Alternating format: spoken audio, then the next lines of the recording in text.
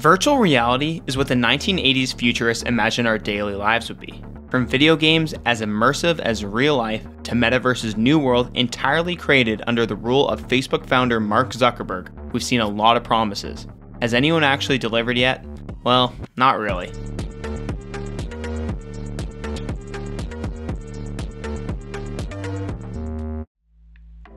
Virtual reality has a long runway ahead of it, but all too many have focused on the entertainment it could eventually provide versus the real value it already offers.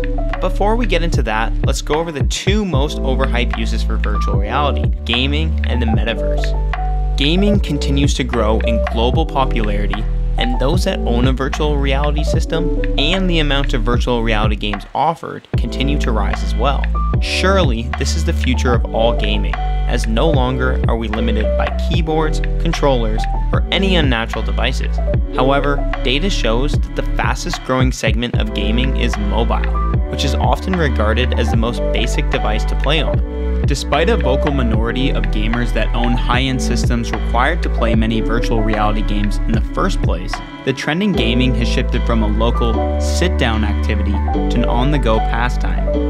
So, what are the current problems with virtual reality gaming? Firstly, it's costly. You need a high end PC or a current generation console alongside a separate and equally expensive VR kit to get started. Once you are up and running, your choices of games, although plenty, lacks the standards of current non-VR games. Because of how demanding it is to process games in virtual reality, often the graphics quality and general scope of the game suffers. Minus a few popular exceptions, such as Half Life Alyx, most games feel like a fun novelty at first, but quickly fade to a gimmick. Take Beat Saber for example a game where you wield two lightsabers and hit corresponding cubes to the beat of a song, much to the familiarity to those that played Guitar Hero before it. However, many virtual reality games fall into a similar cycle as did the Nintendo Wii. The unique controls offer an immediate and fun challenge, but the lack of quality graphics, replayability, and ultimately precise controls eventually leave the consumers going back to conventional games utilizing a keyboard and mouse or a traditional controller virtual reality is still quite far off from having the accuracy and precision that are essential for replayability. They do offer unique experiences, such as the odd feeling of freedom you get when in virtual reality you can look down at your belt and grab something, or give someone a high five. These additional controls are isolated to virtual reality and provide immediate joy, but it seems many games are focused on these quick gimmicks and fail to provide enough substance to keep coming back. Think of the games of the past, from the original Pong, where two players would attempt to score on one another, to Nintendo's N64 playing four player split screen battles as different Bond characters in GoldenEye. These games were standalone activities and required a friend physically beside you to get the ultimate experience. Now compare that to today's most popular games Fortnite, Minecraft, Grand Theft Auto, and League of Legends, to name a few. What do they all have in common? They all prioritize online play and mostly with strangers. While most games offer the ability to join your real life friends online to cooperate, local split screen is largely a thing of the past. The result is a trend of gaming to become a much lonelier experience. If your real life friends aren't online to play with, these games encourage strangers to join you. Though this could be viewed as a new social opportunity, for many, these encounters are short lived and do not result in meaningful connections. The metaverse is attempting to use the same model of hoping online stranger encounters will lead to lasting relationships.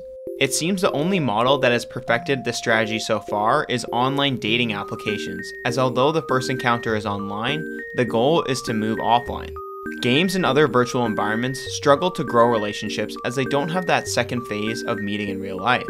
The metaverse attempts to replicate the second phase through digitizing the real world experience. Can it work? It might, but they aren't the first ones to try.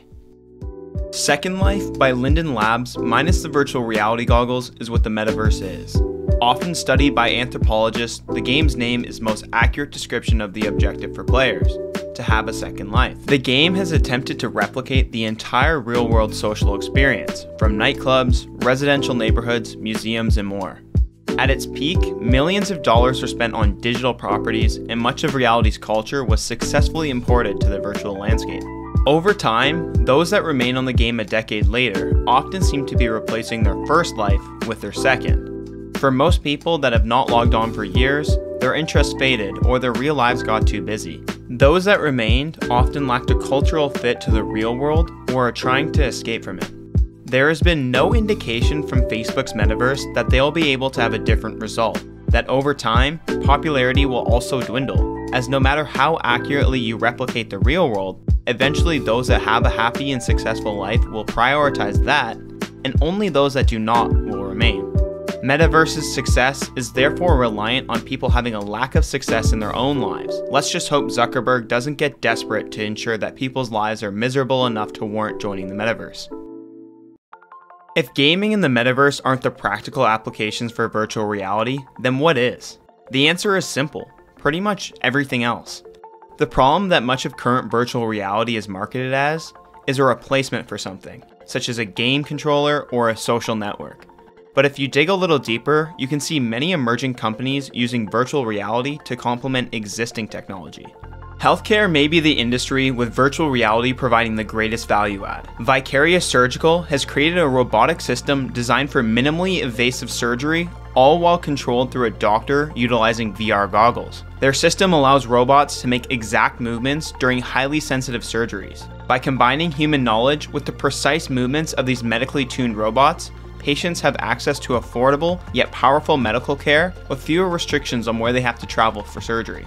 Another healthcare startup, Surgical Theater, is a VR system that can combine a patient's MRIs, CT scans, and angiograms to reconstruct a 3D model of their brain's unique anatomy. Neurosurgeons can explore each of their patient's arteries, bones, and tissue to help them accurately plan the surgery and even practice the upcoming surgery on the 3D model. The system can also be used to walk patients through their brain's anatomy and the entire process of their surgery, making patients feel more informed about the details of their procedure. And it's not just the surgeons benefiting from virtual reality in the health industry. The startup Amelia Virtual Care provides a VR platform used by therapists who perform mental health assessments and interventions. Patients can take advantage of immersive environments meant to calm and soothe while doctors receive analytics and metrics that can be used for treatment. Training for professionals is some of the most obvious use cases for virtual reality that could be really reasonable long term. Take Transfr, for example. They're a company that is pioneering the use of VR to simulate on the job training. Transfr creates simulations that enables users to feel as though they are embedded in the physical environment and experience an actual worksite. This enables trainees to perform hands on training with the assistance of a pre programmed digital coach, all in a fully immersive 360 degree environment that is distraction free and safe.